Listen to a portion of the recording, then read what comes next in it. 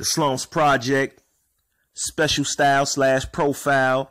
We talking about Anthony Bottom, aka Jalil Abdul Mutaqim. Um, he was a member of the Black Panther Party and the BLM, Black Liberation Army. On May 21st, 1971, he was arrested for killing two New York City police officers. Uh, their names are Waverly Jones and Officer Joseph A. Piagentini.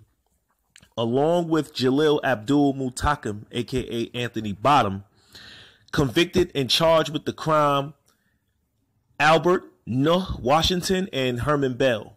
Jalil Abdul Mutaqim is currently at Southport Correctional Facility. He was denied parole in 2009. He's eligible for parole um, in 2018 last year by um he was denied in 2009 by Bloomberg, but he's eligible for parole and they're giving him a hard time. Uh these guys have been in prison for 45 years. Jalil Abdul Mutaqim, he remains incarcerated as he fights for parole because he, he's been denied a few times.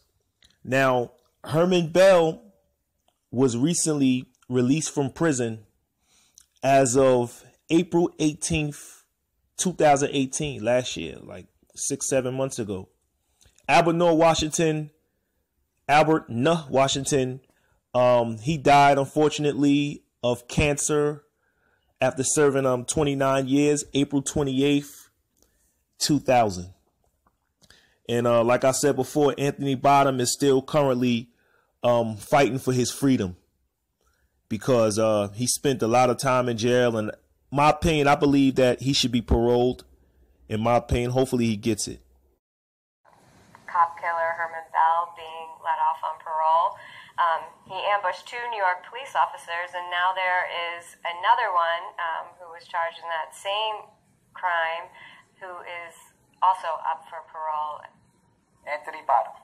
Uh, Washington, there was three people involved here. Washington uh, died in prison. Right. Uh, they released the bill uh, about a month and a half ago, and now uh, uh, Anthony Bottom is coming up for parole. Now, these three individuals uh, drew these two police officers into the Harlem houses and under false pretenses, and then they shot. Waverly Jones was killed instantly, and Herman uh, Bell uh, went on to shoot, and so did Anthony Bottom, uh, Joseph Piagentini. Joseph Piagentini begged for his life, his wife, for his daughters, please, 22 times, and then they shot him in the head to kill him at the end. These animals do not belong on the streets of the city of New York. They belong in jail.